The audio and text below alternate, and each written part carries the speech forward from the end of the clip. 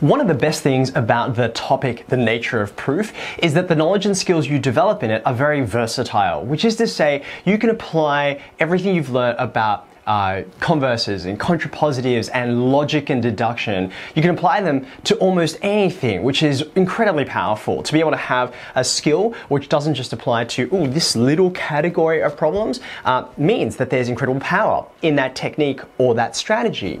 But one of the worst things about the topic, the nature of proof, is that the knowledge and skills you develop in it are incredibly versatile, which means at times you will encounter a question that doesn't look familiar at all. It's not like, oh, I know this question, I just have to do these four steps and out the answer pops. And that might be the feeling that you're getting when you have a look at this question. Uh, starting to read it, you might even think, do I know anything about this topic? Is this something I'm supposed to be able to do? The answer is yes, you can with a little bit of an introduction. So we're going to have a go at this it is going to turn into a very classical proof by mathematical induction once we've set it up. Uh, and then also, just for a bonus, uh, I'm going to show you another way to prove this result, which doesn't have anything to do with induction, um, it, but it does contact, uh, it does interface with some of the other mathematics you've been learning recently. So let's dive in. Prove by mathematical induction that every set with n members has 2 to the n subsets. And then they give you this hint, which doesn't mean anything until you can make sense of what this sentence means. Uh, what are we talking about when we mean sets, subsets, all that kind of thing? Think all the way back to series and sequences. When we introduced that topic to you, the whole idea was that uh, we had sequences, you know, a string of numbers in a particular order. The order does matter.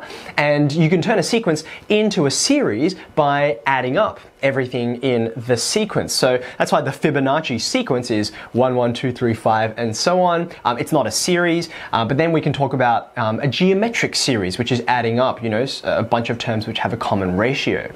Now, that's how you go from a sequence to a series. You add uh, all of the terms, to go from a sequence to a set, uh, it's still the same idea. You still have a collection of objects, but what you take out is the sequential nature of it, uh, which is to say, one, one, two, three, five. If I just like put all those numbers into a bag and jumbled them up, you wouldn't know what order, which one was first and which one was last. Uh, well, there is no last, that's an infinite sequence. Bad example. Uh, but in a set, the whole idea is that we've jumbled them up, we don't really care about the order. So um, the typical sort of textbook definition is a set is a collection of unordered objects.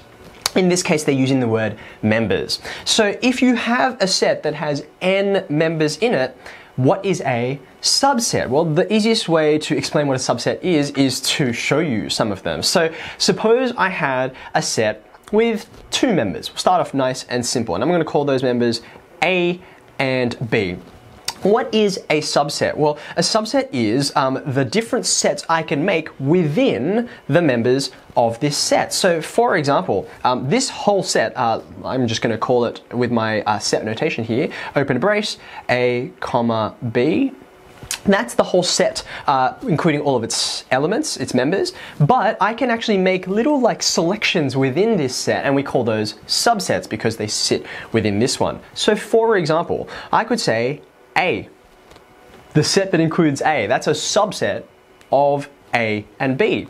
Uh, B is also its own subset. Um, I could say, for example, that A and B um, that's another subset within that, it just includes everything. Uh, and then there's one last sneaky subset that's hiding, which is there is always a subset that doesn't include any of the members that you've got there. We call it the empty set, right? So if I sort of tabulate this, I already wrote down A comma B, that's kind of the set that includes everything. Uh, then I had individually A uh, as a set and then B as a set and then weirdly, the set which has nothing in it, the empty set, is just some curly braces and as the name suggests, there's nothing in them, right? How many subsets are there? And the answer is there are four, which is two squared. So uh, what I've shown is that you know, when you've got two members, you've got two squared subsets. And I could do this again if I had to think about what would happen if I introduced a third. Now, in fact, uh, a third member, I should say. Now, that's actually going to be my segue into trying to understand what is this hint that they've given us, and then how can we use it to assemble our proof by induction.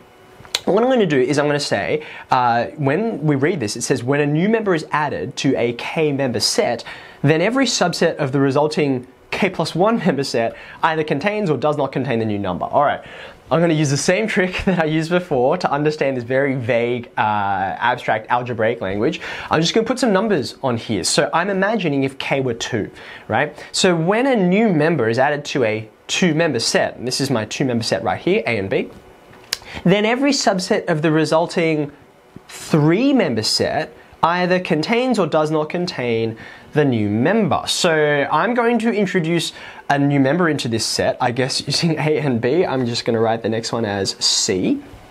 And I want to think about the fact that, well, now I've got a whole bunch of extra new subsets that are available to me, right?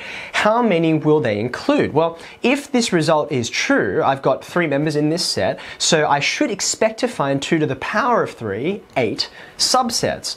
Now, hopefully the first thing you notice is that I've got these, uh, these four subsets that I got from before, and all four of these subsets are included in the first, uh, in, in this new set, right? All of the subsets of my two member subset member set are part of my three member set, okay? But I can then add on more, um, starting with the fact that either um, these new sets either contain or do not contain C. So all of these subsets here, they don't contain C. And so what I can do is I can say, I can add on a, a set that corresponds to all four of these sets just by adding C to that set. So let's actually start from, uh, from the top here, right? We had A and B as one of our sets. What happens when I add C to that? Um, I guess I needed some more colors here. Let's go with, say, blue. That's going to be A, B, and C. So uh, this would be the subset that I get. Uh, there's, there's that, what happens when I add C to that one. In fact, I'll even write it down. I'll write it down here. So I'm going to have A and then B and then C. Then, um, going in order, I'm going to have the A set including C as well. So that's going to look something like, I'm so drastic, we're going to run out of colors. Uh, A and C, like that. So I'm going to write this underneath. A comma C. Uh, I've also got, just adding along, I've got the B set and add that to C as well. So that would look like this. So I'm going to get B, comma, C. And then the last set, the, the last subset, I should say, is going to be the empty set, the empty subset, plus C. So um, that's just going to be, let's do it in black because you'll be able to see that this one right here, okay? So that's going to be C. And hopefully you can convince yourself by looking through, maybe you draw up a three member set yourself and try and think of, is there any subset that I'm missing? And I can know conclusively, um, because I've sort of done this by exhaustion, right? Um, I've got the original four, and then I've got this new 4, which gives me the 2 cubed, the 8 subsets that I was hoping for. So this is what we're trying to understand. Uh, obviously, this doesn't constitute a proof because I'm just looking at examples here, um, and I'm trying to prove this for, for any n, and that's a positive integer. So how do I do this by induction? Well, now that you understand the whole sets, members, subsets thing, let's start our regular old proof by induction. Let's uh, first start off with our base case. What is the base case? Now, I think I might have said positive integers before, which is a bit sneaky. I really should have said you can have, as we have just demonstrated with the empty set, you can have a set with zero members. So I guess that means that n equals zero would be the first time where this works. So I'm going to test the n equals zero case, right? How many subsets are there if I have no members in my set? And I would say the subsets are just the empty set. There's nothing else that I can use to make a new subset. Can I confirm the uh, result that I'm trying to prove here for the base case? And the answer is yes, I can. Um, 2 to the power of 0, that's my 2 to the power of n, that equals 1, which is indeed the number of subsets that I found just above. So therefore I can say, yes, this is true for the base case, namely n equals 0. Okay, wonderful. Now we then uh, progress. We want to say, well, what happens when we assume that this actually works for some arbitrary value of, uh, of n, so which I'm going to call k. So I'm going to say I'm going to assume true for n equals k, and I guess what would that look like? I, I want to sort of do something like this, right? I want to list out uh, list out all of the sets, um, subsets, I should say, and then I want to make a statement about those subsets in relation to this thing I'm trying to prove, right? So what would it look like to list these things out? I guess I would say the subsets of our K member set are. So I want to list out all of the subsets in a systematic way, just like I did up here, just to make sure I don't miss any, right? So uh, where should I begin? Well, I guess uh, the first subset I thought about was the subset with everything in it, right? So what would that look like for us? Well, if my subset has k members in it, I guess it would start off with A and then B and then C, and it would go all the way up to K, right? So this has um, all of the members, all k of them in the set. That's one of the subsets. What would the next one down have, the next row, right? Well, I went from having, say, uh, two members down to one, down to zero, and this would be three down to two down to one, right? So what I would have is not the subset with all of them is in it, but the subset with everything except for one, right? So for example, um, I'd still start off with A and B and C, but then I would end at the, the last one, I was going to write k minus 1, which I could, um, but I could just as easily, just to keep things like uh, e e sort of sensible for us, I could say it, it ends at j, that's the term before k, right? Um, that's one of the subsets which has uh, k minus 1 members in it. Uh, and then there's other ones, right? Um, for example, maybe I leave off A. Um, I could write it as B and then C and then D, and that goes up to K. Um, I could leave out B instead, so that would be A and then C and then D all the way up to K.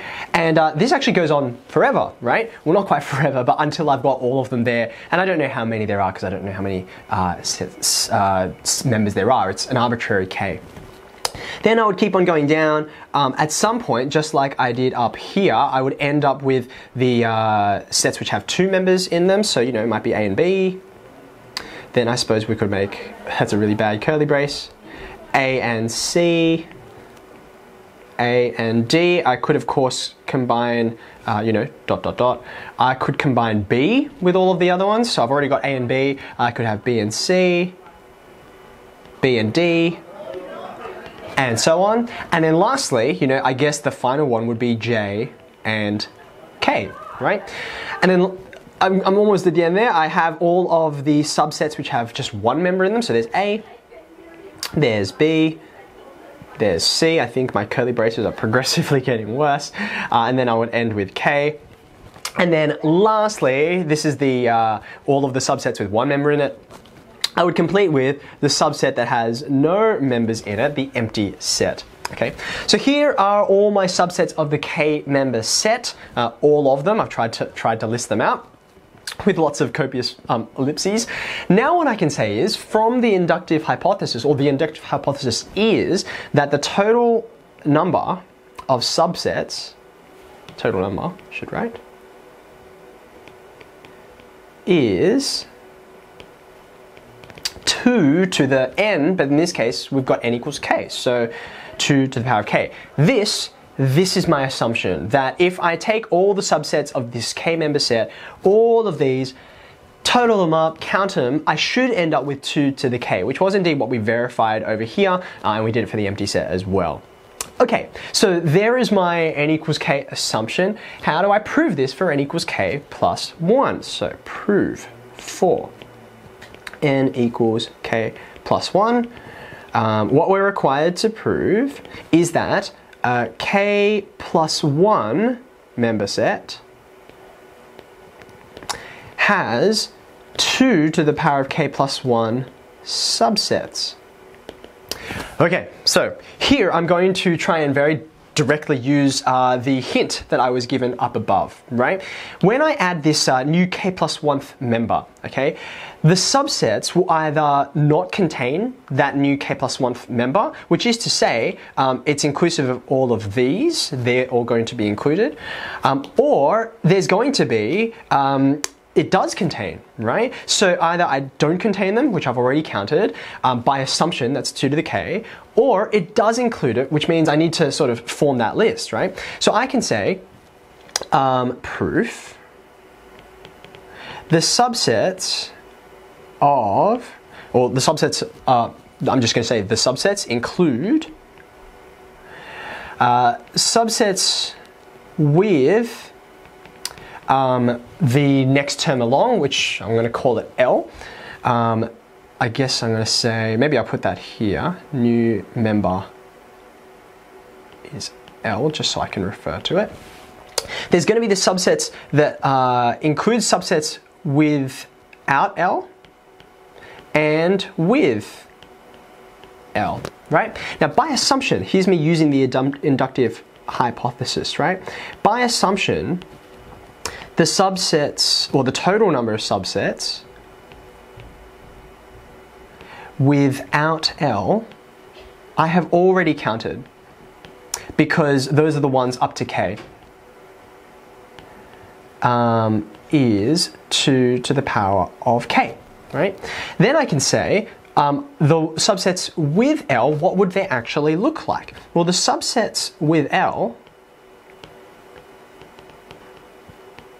would be, and what I can do is I can just create um, this copy here. Sorry, this is a little bit cheap, right?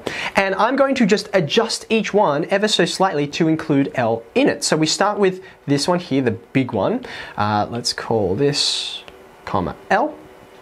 And then I've got the first one, and I'm going to add L to all the other ones as well. So I can put L into this one, I can put L into this one. And I hope what you're seeing here is, once I've gone through this entire process, how many subsets will I have? I'm gonna get a bit lazy. I'm just gonna put this up here, comma L, comma L, comma L, and so on. Uh, A and L,